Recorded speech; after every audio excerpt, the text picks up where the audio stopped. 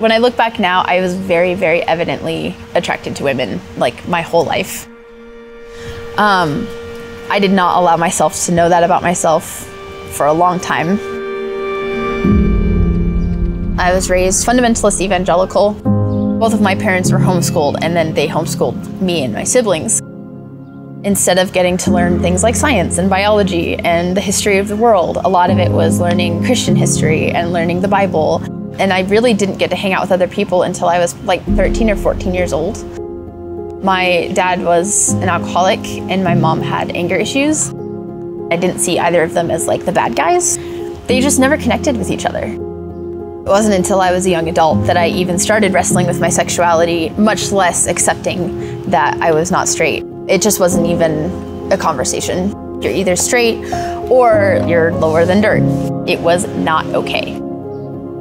I didn't have any support around me. It's just keeping myself alive, my siblings alive, and trying to keep my parents from hurting each other. My mentor, Joy, I would not be here, much less who I am today, um, without her. We met when I started doing theater. It was totally normal for me to just have a meltdown probably every day. I would just go deal with it by myself. One day, I'm having a panic attack, and she came and found me.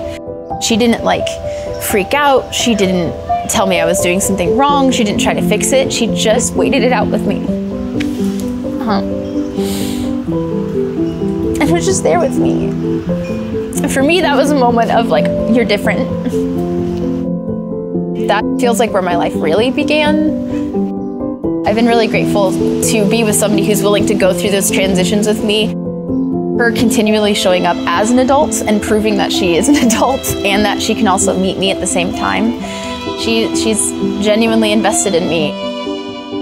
My mentor was the first person that I came out to. I sat down and started crying and just said, I think I'm attracted to women. And she just goes, finally. my best friend in high school, she's now my fiance. my dad passed this year in February. And before he died, he got to meet her, which was really, really sweet. I'm the happiest I've ever been in my whole life. It's totally okay to be who you are. It's totally okay to just to just be who you are. My name is Mari Gilge, and I would not be who I am today without Joy Preston, who believed in me.